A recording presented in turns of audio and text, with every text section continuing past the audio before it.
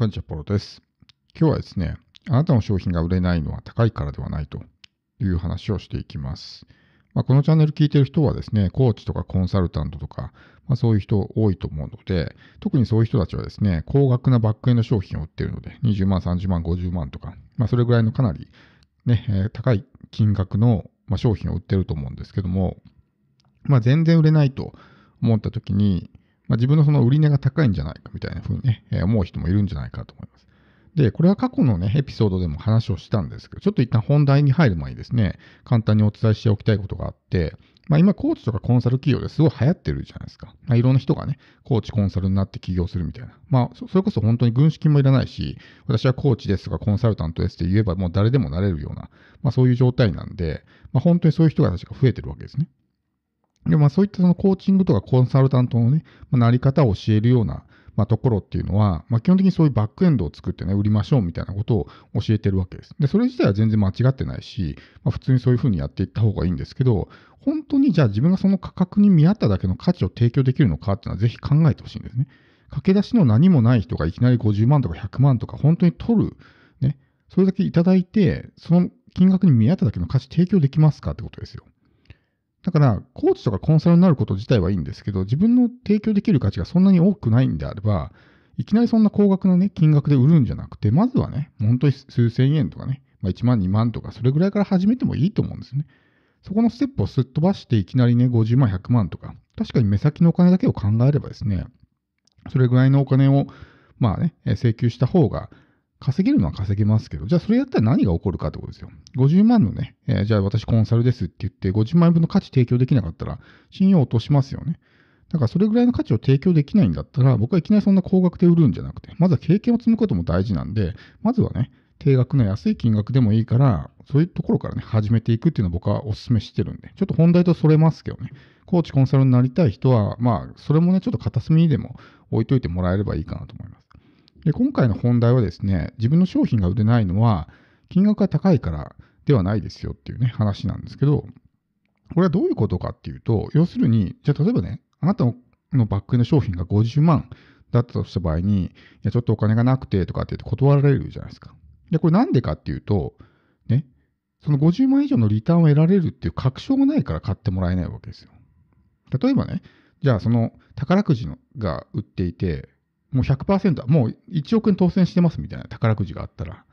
どうしますかってことですよ。その1億円のもう当選してるね、宝くじじゃあ1000万円で売りますよって言われたら、まあ、借金してでも買うじゃないですか、それって。だってもう 1, 億円返ってくることは分かってるわけだから。5000万でも買うと思うんですよ、多分。ですよね。だからそれはもうそういうリターンがあるっていうのは確信が持ててるから、1000万でも5000万でも払うわけですよ。ということはそれと同じで、自分のコンサルがね、まあ、コーチングでもいいですけど、50万ですよっていうふうに言ったときに、それ以上のリターンがもう得られるっていうような確信が持てたら、買ってくれるんですよ、相手は。それが100万だろうが200万だろうが。だから、それの信用に足るだけのですね、状態にできてないっていうのは自分に責任があるわけですね。日々のマーケティングとか、その辺がうまくいってないとかね。例えばこう、Facebook とかね、もう片っ端からオファー投げて、とりあえず来たね、まあ、初めて初見のお客さんとか、自分のこと何も知らないわけじゃないですか。一切信頼関係もない。まあ、そういうような状態で売るから全然売れないとかってあるわけですよ。日々こう情報発信をして、信頼をちゃんと作っていけばですね、あ、この人に任せれば間違いないなっていうふうに思ってもらえるから、ね、制約率上がったりとかするわけだから。要するに自分が信用されてないからそういうことになるわけですね。50万払って損するかもしれないとかって思われるから売れないわけです。この人に50万払ったら、じゃあ、100万円のリターンがあるって分かったら、みんな買うと思うんですね。100人中100人が買うと思うんですよ、それだったら。だから結局そういうことなんで、これが無形商品の、まあ、難しいところなんですよ。有形商品っていうのは、この得られる価値っていうのがある程度もう一定になってるというか、例えばじゃあパソコン買うとするじゃないですか。まあ、パソコン、なんでもいいですけど、じゃあ5万円のパソコンね、買うとしたら、人によって全然得られる結果がね、まちまちなんてことはないわけですよ。全員まあ同じパソコンが届くんで、多少なんか傷がついてたりとかね、若干なんかこう不具合があったりぐらいの差はあっても、ね、10人中10人がね、こう、それぞれ得られるパソコンが全然違うものになるとかってないわけですよ。同じ商品を買えばね、同じ結果が手に入る。テレビもそうですね。同じテレビを買えば、A さんも B さんも C さんも同じものが手に入るから、だからその辺がある意味有形商品って分かりやすいわけですよ。人によってその得られる結果が全然違うみたいなことはないので、安心してお金が払えるんですね。これお金払ってこれ手に入れば、こういうものがね、あの手に入るっていうのが見えやすいから、有形商品っていうのは。でも無形商品はそれが見えないんですね。見えないからこそ、やっぱりね、不安になるというか、本当に大丈夫かなっていうふうに思われるわけです。だから、もちろん金額もね、大事ではあるんですけど、そこだけが本質じゃなくて、結局それが自分が信用に足るに至ってないような、状態になってるから売れないと。じゃあどういうふうにすればいいかというと、信用を得るような、ね、形にしていくわけですよ。信用ってどうやって得られるんですかということです。日常生活とかね、この、まあ、オフラインの世界に置き換えてもらえればわかると思うんですけど、たまたまね、その辺すれ違った通行人にね、いい儲け話があるんですけどとかって言われて、その話に乗りますかってことですよ。乗らないじゃないですか。ね、ある程度知ってる人で仲良くて、あ、この人信用できるなって思ったら、なんかね、ちょっと今度こういうのやろうと思うんだけど、どうみたいな感じで言われたら、じゃあちょっと自分もやってみようかなとかって思うかもしれないけど、どこの誰かもわかんない人に声かけられて、もうその時点でちょっとえって思うじゃないですか。怪しいなみたいな感じに思うわけですよ。だからそれをネット上でやっちゃってるんですね。相手が全然自分のこと知らないのに、ね、こう、買いませんか買いませんかみたいなこと言われても、まあ、買うわけがないですよね。だからそこの信頼関係をしっかりと作っていくってこと。だからまずは相手に自分を知ってもらうっていうのはもう最低限のレベルですね。何も知らない人に来てもらったら、それはそこからこうね、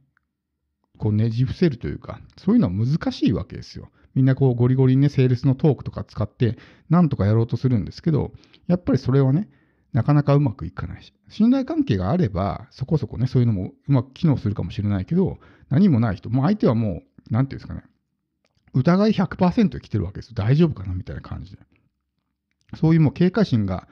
めちゃくちゃ高い状態の人に売るっていうのは難しいわけなんで。だから日々こう情報発信を通して少しずつ信頼を構築していく。あ、この人は信頼に足る人だなって思ってもらわないといけないわけだから。だからコツコツ地道にやる必要があるわけですよ。コツコツ地道にやってるから、あ、この人は地道に頑張ってる人だなって思ってもらえるんで。これ何を発信するかも大事ですけど、その姿勢ですよね。自分の情報発信に対する向き合い方みたいなものもすごく大事になってくるわけですね。だからそういうところが結局売れないっていうところにつながるわけなんで。金額が高かろうが安かろうが買う人は買うし、それはもちろんコーチコンサルだけじゃなくて、コンテンツも一緒ですよね。この人のコンテンツなら欲しいってなったらもう入れ食い状態なわけですよ。こういうの出しましたよって言ったらもうすぐ買いますみたいな感じになるから、それは信用があるからですね。だけど信用がない人はこんなの出しましたよって言ってももうみんなスルーしてしまうみたいな。だからそういう無形商品を売りたいんであれば、それを事前にこう、信頼をちゃんとね、作っておく必要がある。で、信頼作って出しましたよって言うから売れるわけなんで。そこをちゃんと理解しておかないと、いつまでたっても売れるようにならない。なんか、魔法のセールストークが手に入れば絶対手に、ね、売れるとか、コピーライティングのテンプレートを使えば絶対売れるとか、そんな単純じゃないんで、それで売れるんだったらもうみんな億万長者になってますよ。そんな単純じゃないんでね。なんで、まあ、もっとね、こう、地道にコツコツと情報発信をして時間をかけながら信頼構築を作っていく。やっぱり知り合ってね、2、3日の人と、ね、10年以上の付き合いのある人とやっぱり信頼関係は全然違うわけじゃないですか。それと一緒なんで、時間をかけて少しずつ信頼構築をしていくってことです。で今回ですね、まあ、このエピソードは、まあ、お金に関するテーマ、まあ、金額とか値段に関するテーマをね、話をしたんですけど、まあ、つい昨日ですね、新しい無料コンテンツを作って、まあ、今年はですね、できれば月1回、まあ、何かしらのですね、無料コンテンツを毎月作っていきたいなと思っていて、昨日作ったのはですね、無形商品価格設定の教科書っていうね、まあ、無形商品って本当に